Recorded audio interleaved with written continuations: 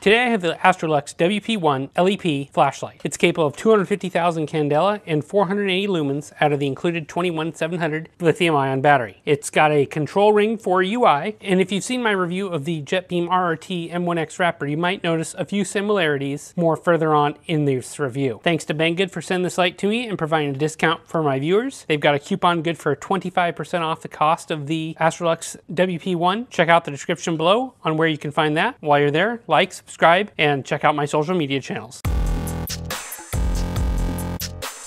The light comes in a large plastic case with handles. On the front is a sticker showing the light and listing a few headlines. And on the back, there's another sticker showing the runtime chart and things to various social media platforms. This box is the same box as the JetBeam came in, and this is just one part of why I think these lights are similar. Let's take a look at the other accessories. You get a basic lanyard here, you get the user manual, you get a USB to micro USB charging cable for the battery on board. It does have have a charging cable there that you can see, and I'll talk more about that later. You get a bag of extras, two extra O-rings, and an extra button switch. These red O-rings, if you've seen my JetBeam review, you'll know that that's their color, that's their thing, another indication. And then you get a basic holster here, which I'll talk more about in the retention section. Astrolux brought out two LEAP style lights earlier in 2021 that appear to mirror the JetBeam RRT M1X that I've reviewed and the M2S WP RX in physical appearance and and closely in performance, along with the main difference being the engraving on the body and the price. I strongly suspect that the parent manufacturer for this Astrolux light is JetBeam. The anodizing on the two are very, very similar I'll call them identical. Here is my RRT M1X Raptor. You can see the anodizing is the same. The tail caps are the same. They're interchangeable. The body tubes are the same. They are interchangeable, as well as the uh, rubber grommet here. You do have a little bit of texture difference on that control ring and the heads, obviously, because these are different model lights. But for all intents and purposes, I believe the Astrolux is a JetBeam. If we look at the tail here, we, have got two little ears. This is where your lanyard um, attachment point is. You've got a button here. This is a mechanical button and fairly loud with a nice amount of grip there. The light will tail stand, but it's not the most stable as you can see there as I bump the table. Threads on the inside here are square cut and you've got that red O-ring nicely greased. Inside you've got a spring, very, very similar to what the other Astrolux and JetBeam had. You've got this rubber ring to allow you to do a cigar grip or just as an anti-roll. It's decent. On the body here you've got some knurling, a couple of flats with your minimal engraving on here. I like that. The body tube is removable from the light if you wish. There is a picture of the inside of what that looks like. The head features the rotating control ring. You've got five detents that just are over 180 degrees in total movement. They feel okay, not super crisp, but not mushy either. I like the rotary control ring. They work great in the winter with gloves on. Not so important this time of year. The bezel of the light is non-removable here. You can see it is one-piece design. You can see the lens down in there.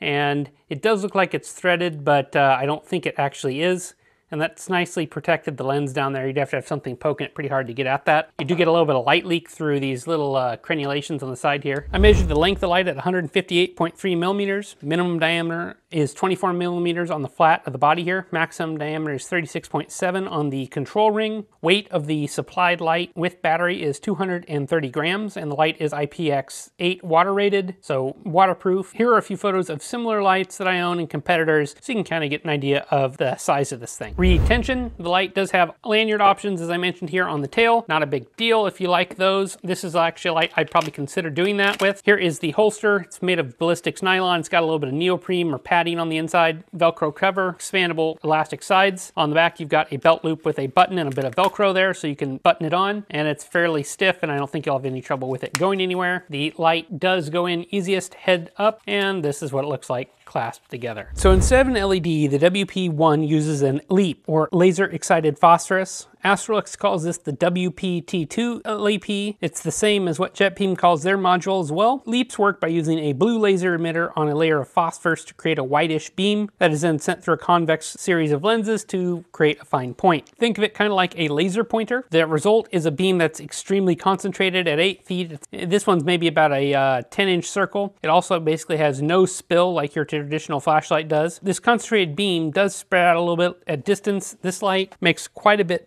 bigger of spread out beam than my uh, JetBeam RRT M1X Raptor, and I'll show that in my night shots here in my backyard. Okay, I want to do just some beam comparison shots with this light here. This is the neighbor's fence, and I've got it on max lumens here, so it's blowing things out a little bit. I can turn it down one notch. You can see a little bit better. But the neighbor's fence is about 200 feet that I've got the light trained on right now. If I go across the street here, I'll bump up to high. We can see the trees here. Those are an easy, a little beyond 300 feet, and the building's probably a good 400 feet. But this is the Astrolux WP1, and this is the JetBeam RRT M1X. And you can see the beam size is just a lot smaller, a lot more focused. Here's the neighbor's fence, and there it is across the street. So on the left is the JetBeam, on the right is the Astrolux. And you can see the big difference in beam size. Remember, this is only 400, 350, 400 something like that for comparison here. My lake shots do a better job of total night shots. The tint here definitely has a bluish tint to it, and there's a little bit of artifacts, especially at closer range. You don't notice those at a distance though, and there's no visible PWM to the eye or camera. Here are my night shots for the Astrolux WP1. This is a LEAP powered light, which we've looked at from other manufacturers here. And right now I've got it in the high setting, 480 lumen which doesn't sound like a lot, but you can see it's a very, very small, intense beam, and you can see it hits the bank over here, which is about 580 meters, no problem. And I've actually got a canoer here, so I'll try not to blind him as he's coming in at the local lake here, but you see it's super bright. If I click down one, we can see that is 75 lumens, and at that point, we can't get across the lake anymore. Kind of hard to see with all the uh, light pollution that's behind me, but you can see on the dock here, very, very tight beam and we can illuminate the canoer pretty easily too. And bumping down one more, here's 15 lumen, still easily reaches the deck of the dock, no problem. Reaches the plant, no problem. You can see it's a very, very small beam. On high, we're rated for about 250,000 candela, and this light is very small, about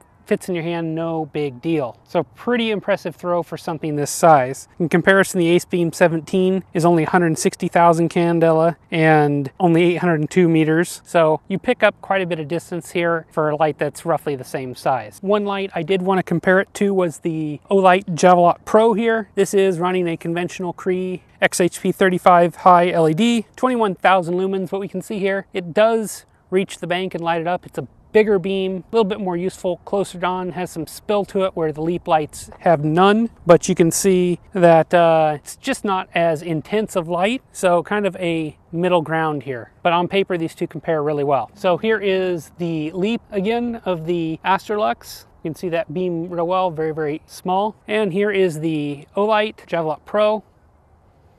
And it reaches there too, but it's not as intense a beam. It'd be hard to pick something out on that bank whereas the Astrolux here you can see a little bit more focused and better and the cost is quite a bit less too. So here is the JetBeam RRT M1X Leap that I reviewed a couple weeks ago. This is running the same light engine I believe as the Astrolux. This head on this is quite a bit bigger and Astrolux ends up making a very, very similar model. I think the JetBeam here on the left is really just a rebadged light. These are different size lights. That's why you're seeing the different sized beams. The uh, JetBeam here on the right has a larger head. It's a more focused beam. The Astrolux here on the left, I believe the same light engine, and you can see the lights beam spread out a little bit more. It makes more sense if I go like this, where you can kind of see how the Astro, the JetBeam here on the right, it kind of gets wide narrows down and then fattens up on the end, and the Astrolux is kind of the same diameter the whole way across. Both reach the bank here at 580 meters just fine, no issue there. Both are very, very tight beams on short distances like this here at the dock.